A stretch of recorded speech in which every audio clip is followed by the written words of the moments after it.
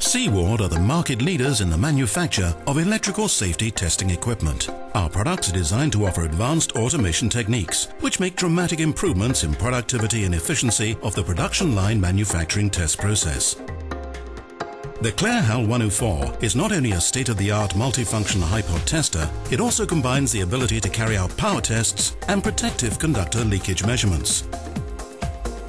The ClareHAL 104 can be used for manual or fully automated testing and can also be fully integrated into any existing system using a PC directly controlled by an administrator.